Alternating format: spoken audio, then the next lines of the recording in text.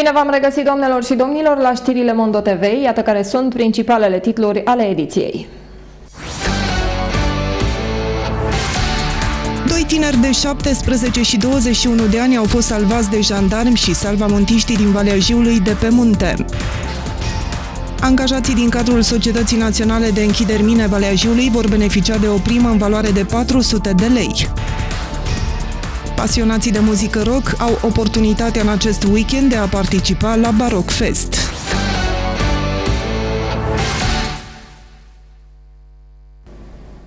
Doi tineri de 17 și 21 de ani au fost salvați de salvamontiști și jandarmi din Valea Jiului de pe munte. Cei doi au urcat miercuri dimineața în zona Parcului Național de Fileul Jiului, de pe artera principală, ca să culeagă ciuperci și nu au mai putut înainta. Cei doi tineri, un băiat și o fată, s-au rătăcit astăzi la prânz prin zona aflată în apropiere de DN66 pe ruta din defileul Jiului, după ce au plecat la cules de ciuperci. Ei le-au povestit salvatorilor că au tot urcat până într-un loc de unde nu au mai putut să înainteze și atunci s-au gândit să sune după ajutoare.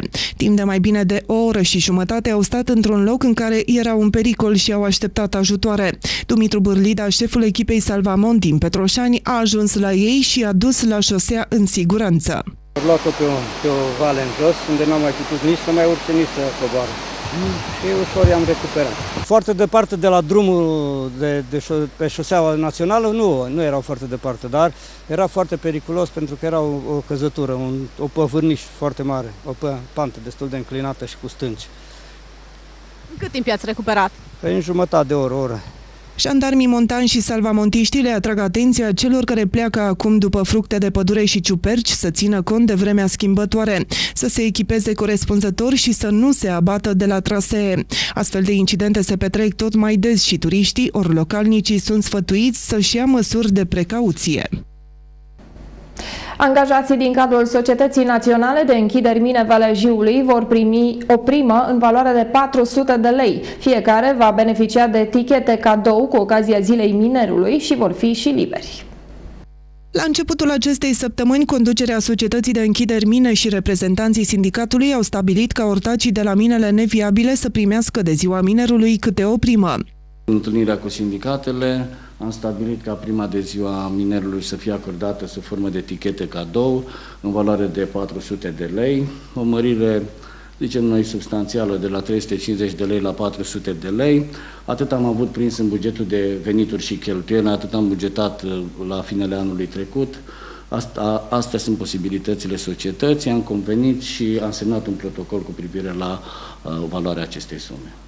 Mai mult, angajații Societății Naționale de Închideri Mine Valea Jiului vor fi liberi miercuri 6 august de ziua minerului, însă vor fi nevoiți să recupereze sâmbătă 9 august. În Valea Jiului este marcată ziua minerului pe data de 6 august pentru că în această dată, în 1929, a avut loc greva minerilor de la Lupeni, când 22 de ortaci au fost uciși, iar în 2001 a avut loc explozia la mina Vulcan, în care și-au pierdut viața 14 oameni.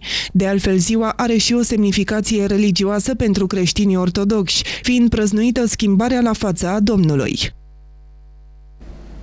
Bălăriile crescute pe marginea căii ferate fac victime și doar o minune a făcut ca ultimele accidente de tren să nu aibă urmări grave. Tufișurile ar trebui să fie tăiate de responsabilii de la CFR, însă sucursala Timișoara este prea departe ca să se știe că aici ploile au crescut prea mult vegetația.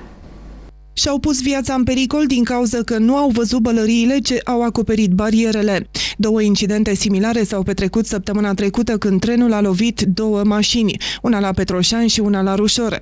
Ambii șoferi au declarat că nu au văzut semnalizarea barierei din cauza vegetației, iar la Petroșani mai mulți oameni s-au plâns de vegetația prea mare din aceste locuri periculoase. Edilii locali spun însă că este doar treaba celor de la CFR.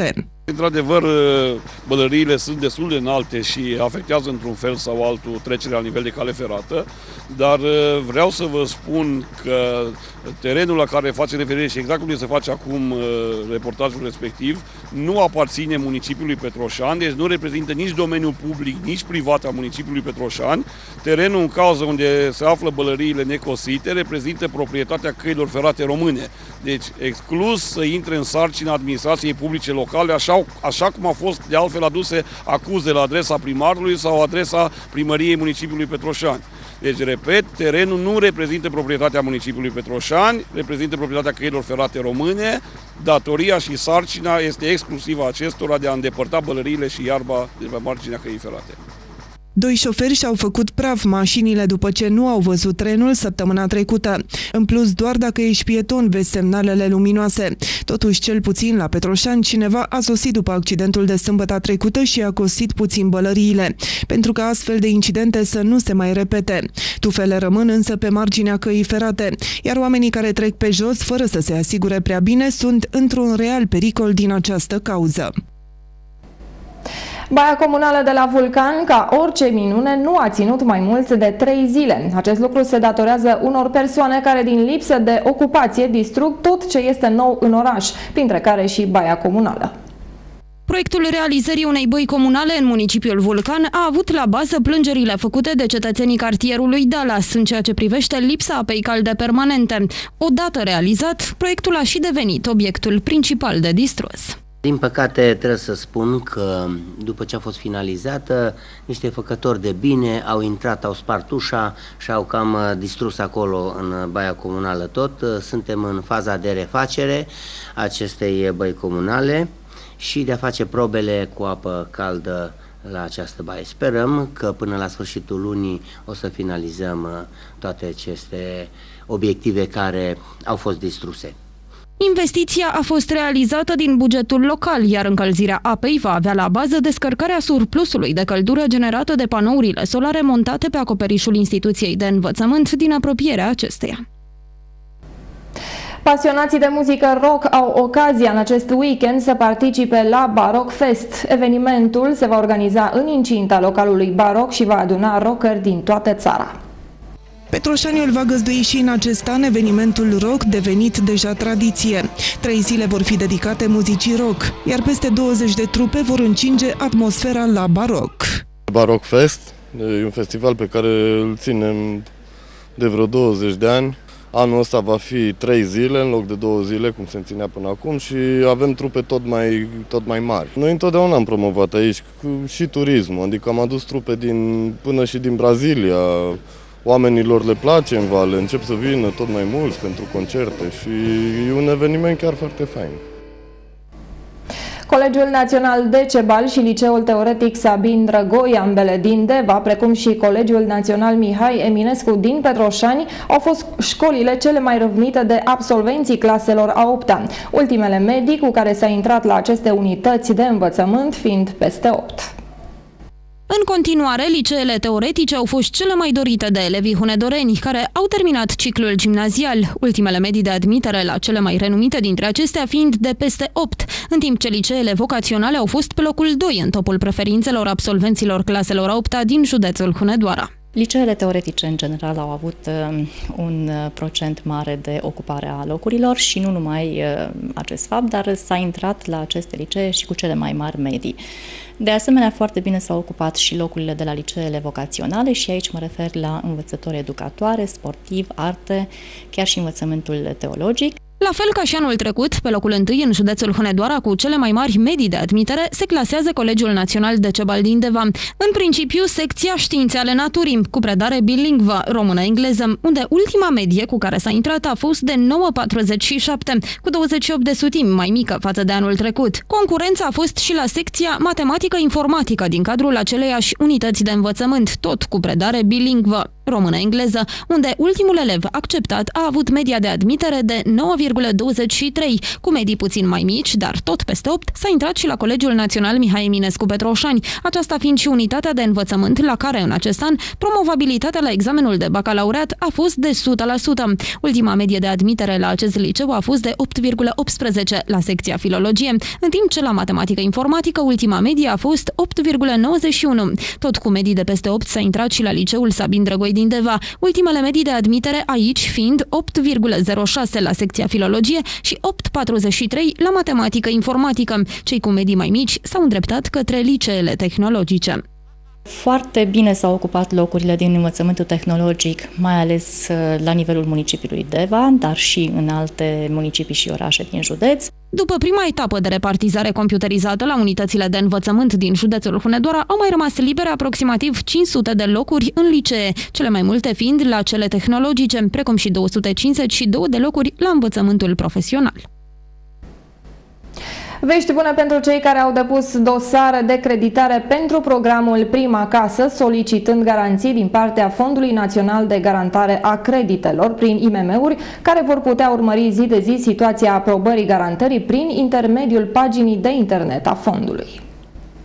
Pe adresa de internet a Fondului Național de Garantare a Creditelor pentru IMM-uri a fost creat un link către o aplicație prin care fiecare beneficiar poate urmări situația dosarului său în procedura de aprobare a garanției pentru credit. Concret, pe pagina fondului, în secțiunea Prima Casă, clienții trebuie să acceseze linkul Stare Solicitare, care deschide pagina aplicației de consultare pentru beneficiarii solicitărilor de garantare Prima Casă. Clientul trebuie să introducă în formular banca la care a depus solicitarea de credit pentru Prima Casă casă, numele, prenumele, data nașterii titularului de credit, tipul imobilului și județul în care se află imobilul ce urmează a fi achiziționat. Prin această aplicație, instituția va transmite informațiile respective rapid și transparent. Nu în ultimul rând, se va îmbunătăți relația cu băncile partenere ale fondului în programul Prima Casă.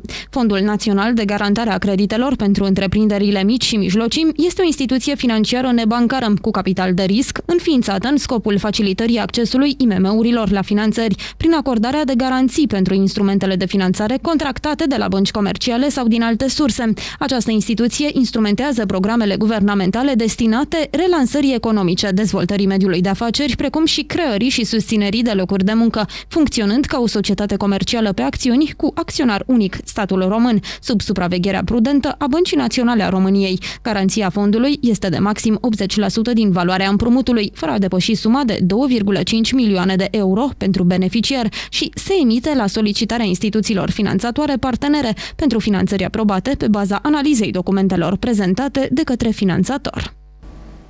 Opera Carmen de Bize a dat startul celei de-a patra ediție a festivalului Opera Nights. Evenimentul a avut loc pe esplanada Lapidarium al Palatului Magna Curia din Deva și s-a bucurat de un succes imens. Prestația artiștilor a fost răsplătită cu minute în șir de aplauze de către publicul prezent.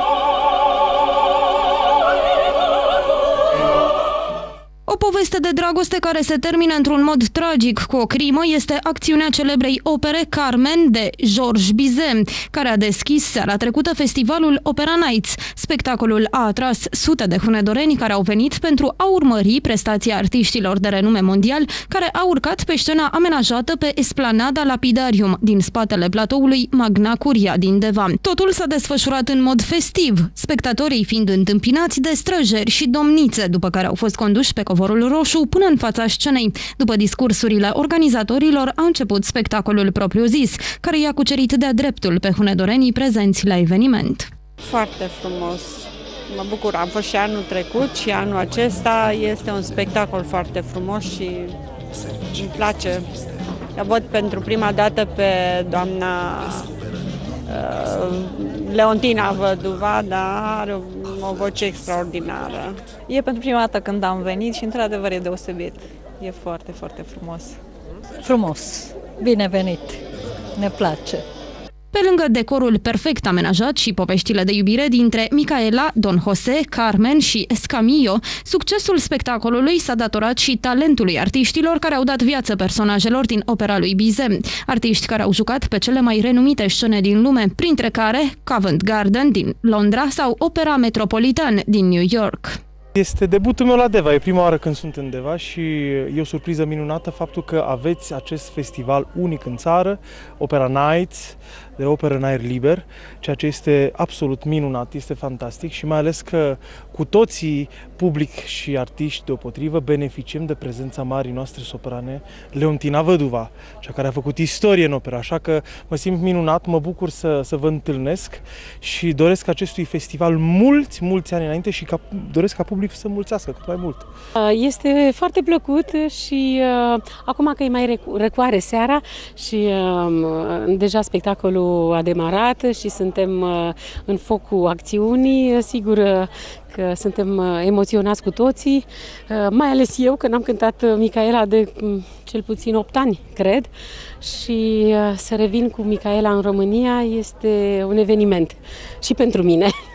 Organizarea unui astfel de eveniment cultural în județul Hunedoara nu a fost deloc facilă, însă rezultatul merită toate eforturile, spun cei care s-au implicat total pentru a oferi melomanilor o nouă ediție a acestui festival unic în România.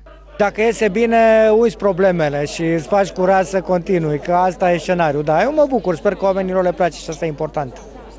Trească opera Night. Cred că meritul au, uitați, acești oameni care vin și apreciază muzica bună și până la urmă un oraș este viu dacă sunt asemenea evenimente. Eu le mulțumesc organizatorilor și am și spus în cuvântul meu de deschidere cât voi fi primar, vom încerca pe cât posibil ca acest eveniment să continue și lumea, mai ales că lumea apreciază. Organizarea acestui festival nu ar fi fost posibilă fără ajutorul Consiliului Județean Hunedoara și a primăriilor din municipiile Deva și Hunedoara. Evenimentul se desfășoară pe parcursul a șase zile, iar spectacolele vor avea loc alternativ la Deva, pe esplanada Lapidarium al Palatului Magna Curia și în curtea interioară a Castelului Corvinilor din Hunedoara. La final vă invit să urmărim împreună informațiile despre vreme.